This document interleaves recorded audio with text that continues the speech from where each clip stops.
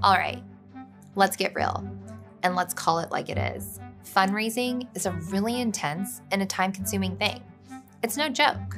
And it's even worse if you aren't doing it efficiently, because it can actively harm your company by pulling your focus away from the day to day operations. The goal of fundraising then shouldn't just be to get money in the bank. It should be to run an efficient process. You want to raise money that you need from the investors who can help your company the most in the most productive way humanly possible. In this lesson, we're going to run through the first key decisions that you have to make in the fundraising process. And these questions apply whether you're raising a seed round from friends and family or an institutional round from big VC firms. They are when should I raise money and how much of it should I raise? Let's zoom in on the first one when to raise money. You ready? Let's do it. Okay, so to figure out when to raise money, there's really one main factor you need to consider above all others your cash runway. How much money do you have left and how fast are you spending it? Let's say, for example, you're a couple steps in, you've raised one or two rounds of early stage funding, and you've got, let's say, $500,000 left in the bank. But you also know that your burn rate or the rate at which you're spending money is 50,000 a month. That's for salaries, office space, everything. So simple math. We take the 500,000 that we have in the bank and divide it by the 50,000 a month. And voila, you're looking at 10 months of burn before you've officially run out of runway.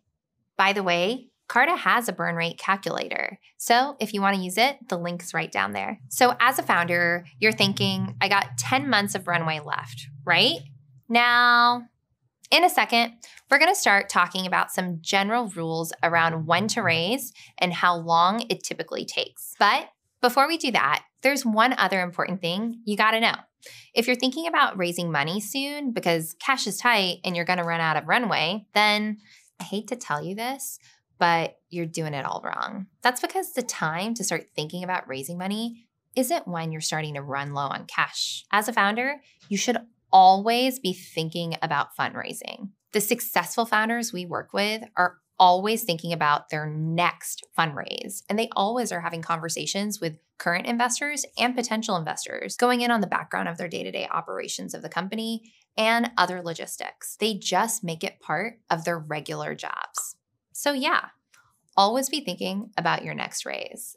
And now that we got that out of the way, Let's talk about metrics. As a general rule of thumb, based on Carta data, it takes roughly three to six months from the start of pitching investors to get money in the bank. And for venture rounds, it's even longer. That said, every company is obviously different. Some founders raise faster than others. Again, we're talking rough metrics here, and it's based on our data. But to be on the safe side, you should always start pitching investors at least six months before your runway is going to end, and probably closer to 12 months, honestly. So that's when to raise. Now, let's talk about the question most people care way more about, and that's how much money should you raise? Right away, let me just say this. While we do have useful data here at Carta, in general, how much I should raise is a hard question to answer. It just depends so much on your startup, your development, and your goals over the next two years, not to mention all the other factors like state of the market, blah, blah, blah. So, the simplest answer to the question is you should only ever raise as much money as you need to get to the next phase of your company's growth. But that's no fun, right? The fun part is the numbers. What are the numbers? So, with all the disclaimers out of the way, let's now dig into our data here at Carta and see what the numbers tell us. In general, there are two frameworks that we're gonna run our data through. The first is how much money are other startups raising? And the second, what are your specific milestones and how much money do you need to hit them? So let's look at the first one. How much money are other startups raising? So these are some overall numbers. And shameless plug, if you use Carta, you can break this data down even further by industry, etc. But in general, here's what we're looking at. For seed rounds, companies generally raise about $3 million. And when you get to a Series A, that number takes a jump to roughly 9.6 million on average. Series B, you're looking at 15.1 million. Series C, 23.2 million. And by the time you get to your Series D, you're on average raising around 36 million bucks. But again, this is just the first framework. This data is useful, but it doesn't drill down into your specific company's situation. Which brings us to framework two.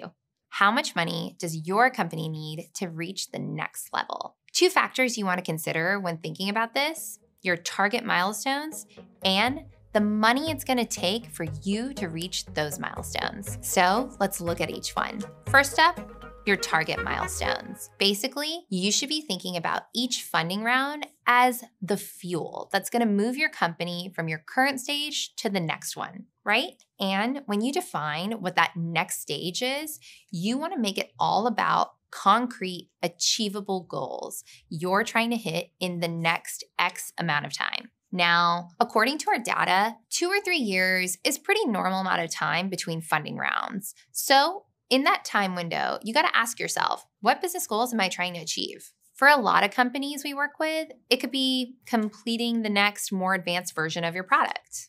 For others, it could be all about customer acquisition, i.e., you may set a goal to add your next thousand or 2,000 new customers or what have you. And for companies, it might be partnerships, like opening up a new sales channel by partnering with another major company. Point is, for each founder and company, the definition of the next stage is going to be different.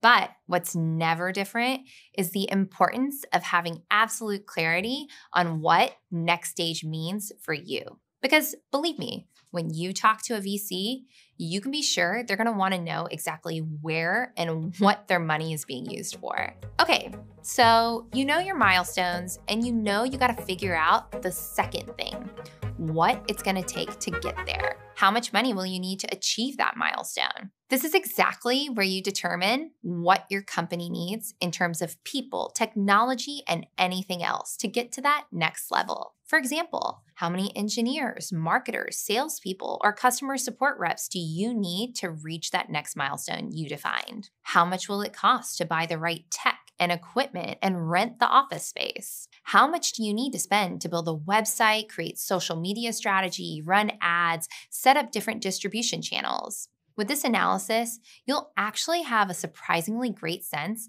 of how much cash it's going to take for you to reach your next milestone. But okay, curveball. Because there's one more key variable you're want to consider in all of this, and that is your ideal valuation. And here's what I mean by that. As soon as you raise money, you're agreeing to give away ownership, right? So you got to do this kind of balancing act between two things. One, your need for cash, and two, how raising this cash is going to affect the equity and ownership percentage of all the current stakeholders in the business, which, spoiler alert, includes you. Your valuation is essentially the fulcrum or the lever upon which this trade off is going to happen. So, like always, let's look at the numbers. Based on our data here at Carta from Q2 of 2023, in the seed rounds, most founders sell around 20% of the company's equity to investors. And then at Series A, on average, founders sell around 19%. Knowing this kind of stuff can be a real advantage at the bargaining table. When you're working with VCs, they're going to learn how much you're raising and automatically start to do a bunch of math in their heads purely because they know what the average dilution is for different types of rounds. Basically, what this means is it's really helpful for you, the founder, to know what percentage of your company VCs are going to expect. In our experience here at Carta, for a $1 million seed round, investors are generally going to expect to get 20% of the company, which, if we do a little math here, we're going to solve for a valuation of the company. And this deal puts the company at an official valuation of $5 million. Having this general framework in your head before you even start fundraising is really going to help to align your expectations with reality. Now, that obviously doesn't mean you're going to get the exact offer you want. Case in point, Here's one perspective on evaluating funding offers from a webinar that we did with our friend Cody Barbo, founder of the estate planning startup Trust and Will, which has raised more than $50 million over several rounds. Sometimes it's take what you can get. I like I sincerely mean that. In the earliest days of Trust and Will, we have great investors, but like it is still sometimes take what you can get. At, at the, the round size that comes together isn't how much you want it to raise. The valuation that comes forward isn't what the valuation you wanted it is and that's even some people feel that way about YC or Techstars because they take I think like six six percent for Techstars and I think seven or seven and a half now for YC. It's like if you make it this far, like where we're at at Trust and Will, I don't think about that. Like I, I have I have a great salary that I'm able to provide for my family. My my co-founders and most of our early team members have very healthy positions on the cap table.